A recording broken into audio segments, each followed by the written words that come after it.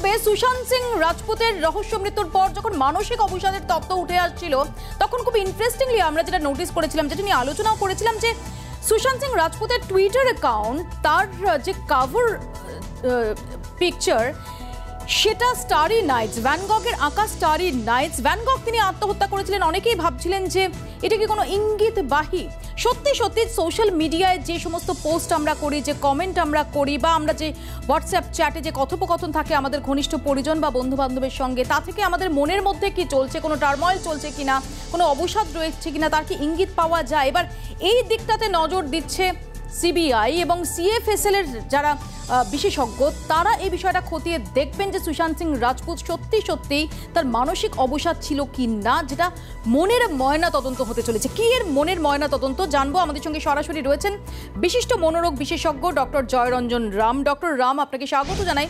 Doctor Ram প্রথমে আপনার কাছে জানার চেষ্টা করব যে যদি আমরা দেখি যে সুশান্ত সিং রাজপুতের মতো অ্যাপারেন্টলি এত প্রাণবন্ত এত হাসি খুশি একজন মানুষ। অনেকেই সোশ্যাল মিডিয়ায় প্রশ্ন তুলছেন যে এরকম লোক কি কখনো মানসিক অবসাদে ভুগতে পারে সুইসাইড করতে পারে? কিন্তু তার পোস্ট যদি তার মাকে নিয়ে একটি পোস্ট এই স্টারি নাইটসটা তার কাভার পিকচার টুইটার হ্যান্ডেলে এগুলো কি ইঙ্গিত বা এগুলো থেকে সত্যি সত্যি কি কোনো ইন্ডিকেশন পাওয়া যায়? দেখো এই যে সাইকোলজিক্যাল অটপসি তুমি যে কথাটা শব্দ করলে যে মনের ময়নাতদন্ত আহ, সেটা কিন্তু একটা খুবই ভালো উপায় একটা মানুষ কি ভাবছে, না ভাবছে সেটার একটা ইঙ্গিত পাওয়ার।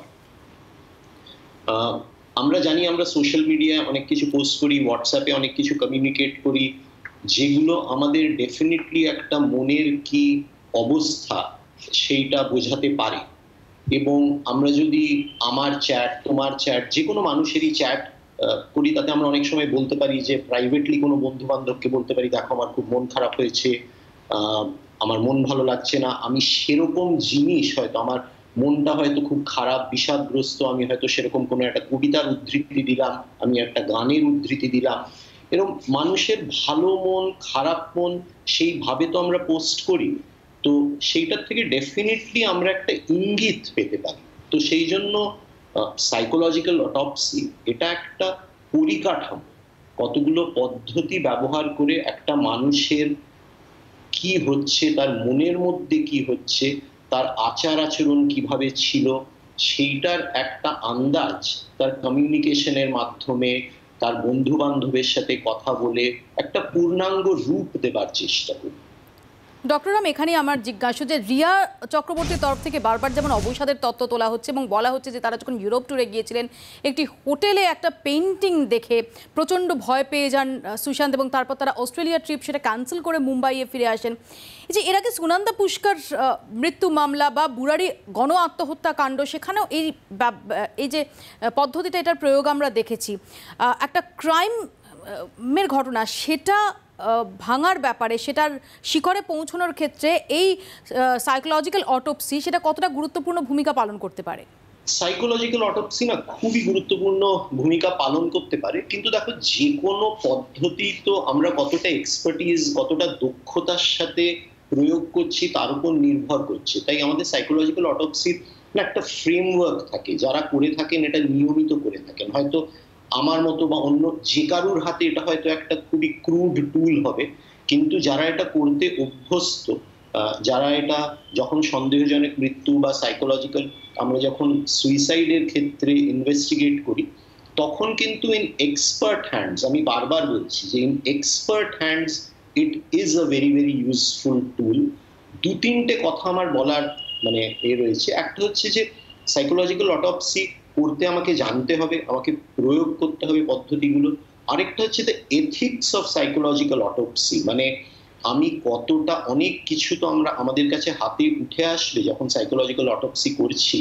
তাই সেই তথ্যগুলো আমরা যেন যথেষ্ট মর্যাদার সাথে পালন করি এবং নিই এবং গ্রহণ করি rather than flashing it out to the whole world কেননা একটি ব্যক্তি যিনি নেই যার আর মানে তাকে নিজে রিপ্রেজেন্ট করার কোনো জায়গা নেই, তার ব্যাপারে আমি যখন খুঁচিয়ে দেখছি, আমি অনেক কিছু হয়তো তথ্য যেগুলো উনি গোপন করতে চেয়েছিলেন, সবার কাছে প্রকাশ করতে চাননি, সেগুলো তো উঠে আসবে।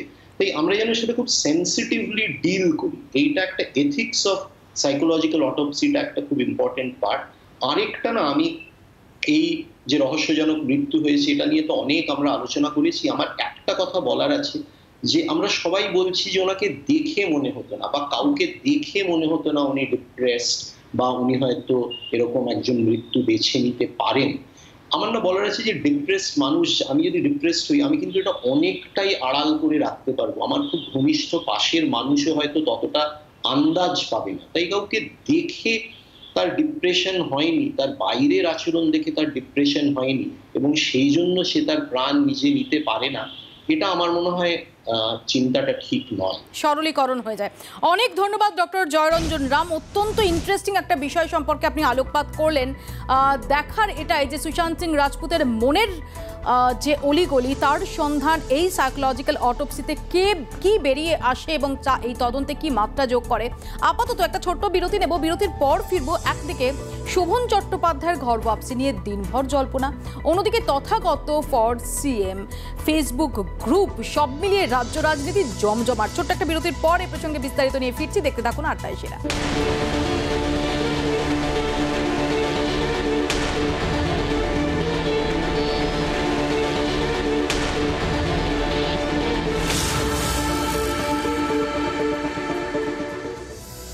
শোভন চট্টোপাধ্যায়ের ঘর ওয়াপসি নিয়ে দিনভর জল্পনা, অবশেষে সেই জল্পনায় আপাতত ইতি ফিরহাদ হাকিম। তিনি বলে দিলেন যে যে যেখানে রয়েছে তৃণমূলে, সে সেখানেই থাকছে। শোনা যাচ্ছে যে, টিম পিকের আপত্তিতেই নাকি আপাতত ঘর ওয়াপসি পর্ব সেখানে আপাতত, আবার বলছি আপাতত জবনিকা পড়ল। অন্যদিকে গতকাল রাতেই তার বাড়িতে পৌঁছে যান অরবিন্দ মেনন। এর পাশাপাশি যখন কৈলাস বিজয়বর্গী, তিনি বলে দিচ্ছেন যে কোনো মুখ্যমন্ত্রী পদপ্রার্থীকে সামনে না রেখে, নরেন্দ্র মোদীকে সামনে রেখে একুশের লড়াই লড়বে বিজেপি, তখন ফেসবুকে এবার গ্রুপ তৈরি হয়ে গেল তথাগত রায় ফর সিএম। এই সব নিয়ে আলোচনা করব। আমাদের সঙ্গে রয়েছেন আমাদের দুই প্রতিনিধি। আমাদের সঙ্গে রয়েছেন অঞ্জন রায়, কমলিকা সেনগুপ্ত এবং রয়েছেন রাজনৈতিক বিশ্লেষক বিশ্বনাথ চক্রবর্তী। আমি শুরুতে একবার শোভন প্রসঙ্গে ফিরহাদ হাকিমের বক্তব্য আপনাদের শোনাবো। As far Trinamool Congress is concern যে যেখানে আছে, সে সেখানে আছে। কিন্তু কাউকে পদ থেকে সরানো হয়নি বা পদে ঢোকানো হয়নি। যে যেখানে আছে, সেখানে আছে। আননেসারি পলিটিক্যাল একটা ইয়ে ক্রিয়েট করা হচ্ছে। এটা নিয়ে কোনো ব্যাপারই নেই। কমলিকার কাছে শুরুতে চলে যাব। কমলিকা, যদিও ফিরাদ হাকিম বলছেন যে যে যেখানে আছেন, সে সেখানেই আছেন। কিন্তু গতকাল থেকে এই যে গোটা জল্পনা, কি উঠে আসছে যে সত্যি সত্যি এই ঘর ওয়াপসির যে জল্পনা, সেটা কি জল্পনাই? নাকি টিম পিকের আপত্তির তত্ত্ব সেটা সামনে আসছে। দেখো মপিয়া, সকালবেলা থেকে আমরা যে জিনিসটার উপর জোর দিচ্ছিলাম, অর্থাৎ শোভন চট্টোপাধ্যায় দলের জন্য অত্যন্ত গুরুত্বপূর্ণ, এর মধ্যে কোনো সন্দেহ নেই। তিনি দলে ফিরুক দলের সবাই এটাই চায়। কিন্তু কোন পদ্ধতিতে, কীভাবে তিনি দলে ফিরবেন, সেই নিয়ে প্রশ্ন থেকে যাচ্ছেন। কোনো শর্ত দল যে মানবে না, সেটা বিকেলবেলা ফিরহাদ হাকিমের যে বাইট, সেটাই খুব স্পষ্ট হয়ে গেল। অর্থাৎ রত্না চ্যাটার্জি গতকাল যেটাই দলের একাংশ থেকে উঠে এসছিল যে তিনি তার পদে থাকছেন না। তারপর রত্না চ্যাটার্জিকে প্রত্যেক যারা সিনিয়র লিডার্স আছে প্রত্যেকেই বলেছে না তিনি যেন তার মতো কাজ চালিয়ে যান। সুতরাং শোভন চট্টোপাধ্যায় তিনি গুরুত্বপূর্ণ তাকে দল যে চায় না এমনটা কখনোই না। কিন্তু কোন পথে তিনি ফিরবেন সেই নিয়ে একটা দ্বিমত রয়েছেন এবং যেহেতু অবশ্যই টিম পিকে তাদের একটা অংশ রয়েছে গোটা বিধানসভার ম্যাচে সমস্ত ভালো প্লেয়ারদের নিয়েই মাঠে নামতে চায় মমতা বন্দ্যোপাধ্যায়ের দল।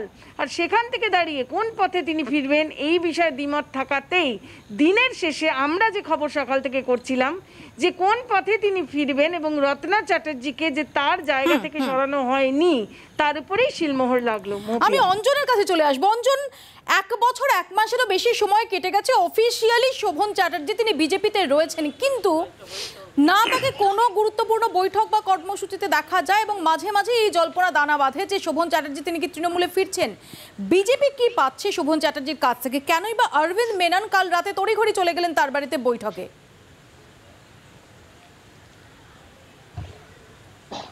দেখো মৌপিয়া আমি তোমাকে প্রথমেই বলি, এবং আমিও আজকে সারাদিন ধরে বারবার এই কথাটাই বলেছি আমাদের লাইভে, যে শোভন চ্যাটার্জির অবস্থা হচ্ছে ফাটাবাসে পা আটকে গেছে। তার যে সাংগঠনিক দক্ষতা, মেয়র হিসাবে তার যে কাজের দক্ষতা, তা থেকে তৃণমূল বঞ্চিত। বিজেপি কার্যত রাজনৈতিক ছক করে তাকে সেখান থেকে সরিয়ে রেখে দিয়েছে। কিন্তু বিজেপির কোনো সভায় তিনি আসেন না। এটা ঘটনা, অমিত শাহর মতন গুরুত্বপূর্ণ ব্যক্তিরও সবাই তিনি উপস্থিত হন না।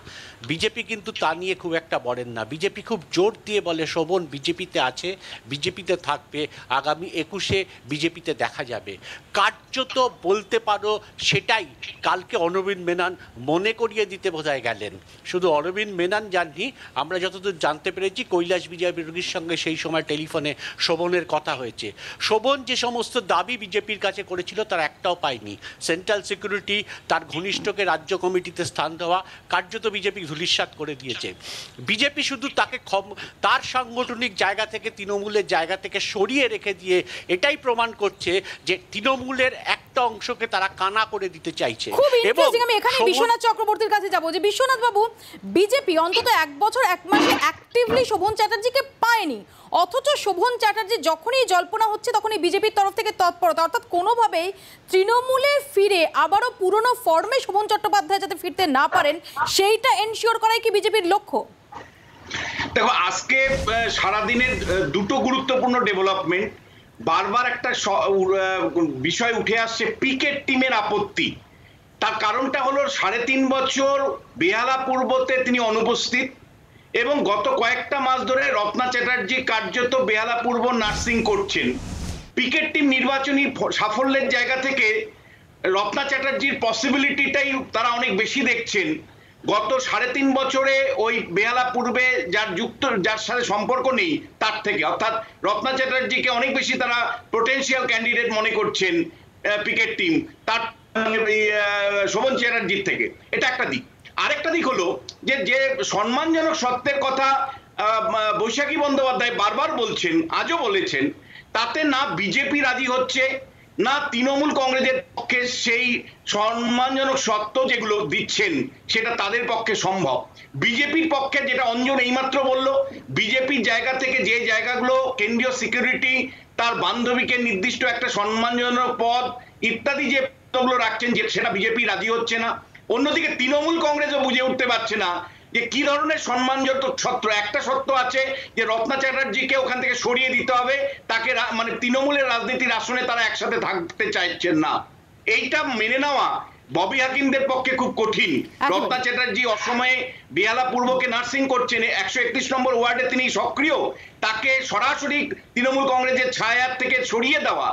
সব ছত্রছায়ার থেকে সরিয়ে আমি আসব বিশ্বনাথ বাবু আপনার কাছে। এর পাশাপাশি আমরা দেখছি যে খুব interesting Tathagata Roy for CM campaign শুরু হয়ে গেছে ফেসবুকে।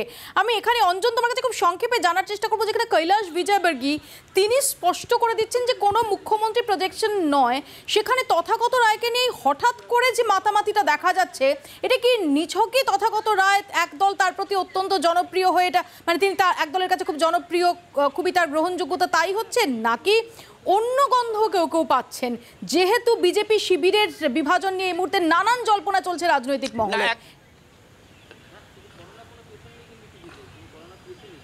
এক- একদম মৌপিয়া, ঠিক করছ ঠিক বলেছ। দিলীপ ঘোষকে আটকানোর জন্যই তথাগত রায়ের উত্থান, বলতে পারো। একজন রাজ্যপাল রাজ্য রাজনীতিতে ফিরে আসবেন, এটা খুব কম দেখা গেছে, যখন ইলেকশন বাকি এখনও দশ মাস। স্বাভাবিকভাবেই তথাগত রায় যখন দাঁড়িয়ে কৈলাস বিজয়বর্গীর মতের সঙ্গে সহমত পোষণ করে যে সংবাদ মাধ্যমকে গতকাল বললেন যে ঠিক বলেছেন কৈলাস এবং কেন্দ্রীয় নেতৃত্ব, নরেন্দ্র মোদীর নেতৃত্ব লড়বো, তারপর জিতে মুখ্যমন্ত্রী ঠিক করব, ঠিক তার কিছুক্ষণ পর বাড়িতে গিয়ে তিনি তথাগত রায় সিএম ফেসবুক খুলে জনমত গঠন করার চেষ্টা করছেন। এটা বিজেপি অত্যন্ত নিন্দা করছে এবং আমি যতদূর খবর পেলাম যে কিছুক্ষণের মধ্যে সেই টুইট এবং সেই ফেসবুক পেজ সর্বভারতীয় সভাপতি জেপি নাড্ডার কাছে পাঠিয়ে দেওয়া হয়েছে। অর্থাৎ যে ঘোলাটে গন্ধ বিজেপির এই মুহূর্তে শুরু হয়েছে যে গ্রুপবাজি শুরু হয়েছে তা থেকে কিন্তু বিজেপি বেরিয়ে আসতে পারছে না। এখানে বিশ্বনাথ চক্রবর্তীর কাছে চলে যাব। বিশ্বনাথ বাবু একটা দল তারা এই মুহূর্তে দৃঢ় সংকল্প যে একুশের লড়াইয়ে তারা ক্ষমতায় আসার জন্য সর্বতভাবে লড়বে। সেখানে দাঁড়িয়ে এই ঘটনাগুলো এগুলো তো খুব একটা স্বস্তিদায়ক নয় রাজ্য বিজেপির জন্য। একেবারে মৌপুয়া তোমার সাথে একশো শতাংশ একমত। যারা দিলীপ ঘোষের প্রেসিডেন্ট পদ, অর্থাৎ দ্বিতীয়বারের জন্য সভাপতি পদে যারা আটকাতে পারেননি দিলীপ ঘোষকে, সেই গোষ্ঠীটাই কিন্তু তথাগত রায়কে সামনে রেখে এখন দ্বিতীয় আরেকটা মুখ তৈরি করতে চাইছেন। তথাগত রায়ের পশ্চিমবাংলার বিজেপিতে নতুন করে এন্ট্রি আরও জটিল থেকে জটিলতর পরিস্থিতি তৈরি করছে বিজেপির জন্য। এবং দেখো, দল ঐক্যবদ্ধভাবে যে নেই, সেটা গত কয়েক মাস ধরেই আমরা দেখতে পাচ্ছিলাম। দিলীপ ঘোষের কাজকর্ম নিয়ে ক্ষোভ, অসন্তোষ তারা বাবুল সুপ্রিয় সমেত একাধিক নেতা জারি করছিল। এখন তথাগত রায়কে সামনে রেখে কিন্তু তারা আরেকটা ফ্রন্ট খুলতে চাইছে। যেটা দু হাজার একুশের নির্বাচনের আগে ডেফিনেটলি বিজেপিকে অস্বস্তি রাখবে। একেবারে এইখানটাতে আমি কমলিকার কাছে একদম সংক্ষেপে যাব। কমলিকা যখন বিজেপিতে এই ঘটনাগুলো ঘটছে তৃণমূলের অন্দরে কতটা সাড়া ফেলছে এই ঘটনা? কমলিকার সঙ্গে আমাদের যোগাযোগ বিচ্ছিন্ন হয়ে গেছে। খুব সংক্ষেপে বিশ্বনাথ আপনি শেষ করতে চাইছিলেন? বলুন প্লিজ আমি আমি যেটা বলতে চাইছিলাম যে দেখো যখন তথাগত রায় পশ্চিমবাংলায় সভাপতি ছিলেন তখন বিজেপি ছিল ফাইভ পার্সেন্টের দল পাঁচ শতাংশ ভোট পেত। তো আজকে বিজেপি চল্লিশ শতাংশ ভোট এবং বিকল্প, তৃণমূলের বিকল্প রাজনীতি তৈরি করতে চাইছে। আমার মনে হয় মাঠে মানে যারা কর্মী আছেন, বিভিন্ন জেলায় যে তেইশটি জেলায় বিজেপির কর্মী আছেন, তারা কিন্তু তথাগত রায়কে কতটুকু পাবেন, সেখানে কিন্তু দিলীপ ঘোষের অ্যাডভান্টেজ অনেক বেশি থাকবে। যদিও কৈলাস বিজয় কর্মী কিন্তু একটা মাস্টার স্ট্রোক দিয়েছেন। পরিষ্কার জানিয়ে দিয়েছেন যে বিজেপি নির্বাচনে কোন রকম মুখ্যমন্ত্রী প্রার্থী ছাড়াই লড়াই করবে। একেবারে বিশ্বনাথ অনেক ধন্যবাদ। ধন্যবাদ অঞ্জন তোমাকেও, ধন্যবাদ কমলিকা তোমাকেও। আপাতত ছোট্ট একটা বিরতি নিচ্ছি আর বিরতির পর আবহাওয়া সংক্রান্ত তথ্য বিশদে জানব। আমাদের সঙ্গে থাকবেন আবহাওয়াবিদ, কি হতে চলেছে এই নিম্নচাপের জেরে? আপনাদের অনেকের মনে সেই প্রশ্ন রয়েছে, সেই প্রশ্নের নিরসন করার চেষ্টা করব। ছোট্ট একটা বিরতির পর ফিরছি, দেখতে থাকুন আটটায় সেরা।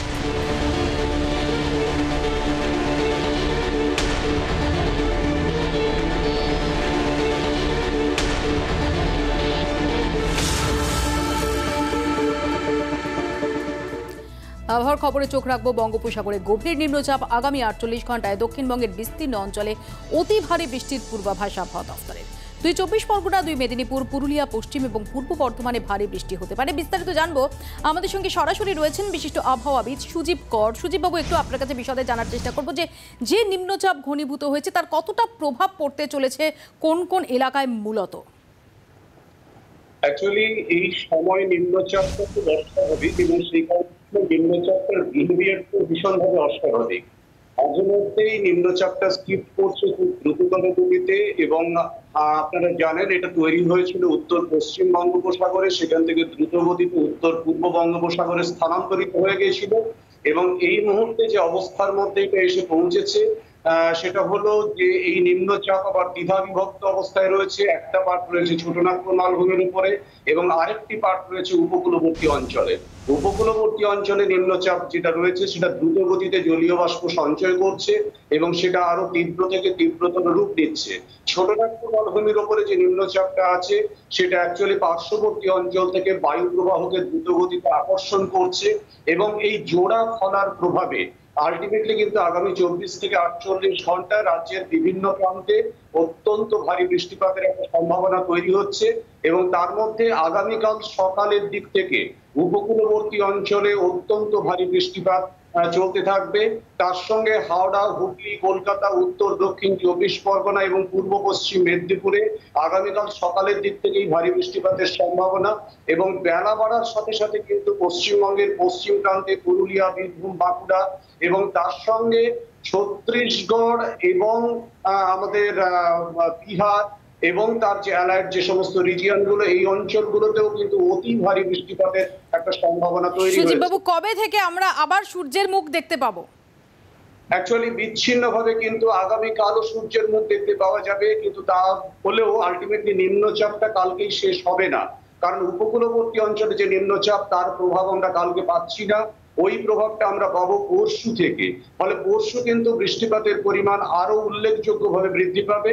এবং কালকে বিচ্ছিন্নভাবে কোথাও কোথাও বৃষ্টিপাত চললেও নির্দিষ্ট কতগুলো জায়গা যেগুলো আগেই বললাম, সেই অঞ্চলে ভারী বৃষ্টিপাত থাকলেও বাকি জায়গাগুলোতে বিচ্ছিন্নভাবে বৃষ্টিপাত থাকবে। কিন্তু আগামী পরশু থেকে তার পরবর্তী আটচল্লিশ ঘণ্টা এই নিম্নচাপ কিন্তু আরও সক্রিয় হতে পারে। কারণ হচ্ছে বঙ্গোপসাগরে এই মুহূর্তে জলের উষ্ণতা অনেক বেশি ভেপারের পরিমাণ তুলনামূলকভাবে অনেক বাড়ছে। বায়ু প্রবাহ স্বাভাবিকভাবে যে নিয়মে চলতে থাকে এই সময় সেটার ডিরেকশনকে চেঞ্জ করে ফেলেছে। অনেক ধন্যবাদ সুজীব বাবু সুজীব কর আমাদের সঙ্গে এতক্ষণ সরাসরি ছিলেন। অর্থাৎ বোঝাই যাচ্ছে আপাতত ছাতার রেনকোট হাতের কাছে রাখাটাই শ্রেয়।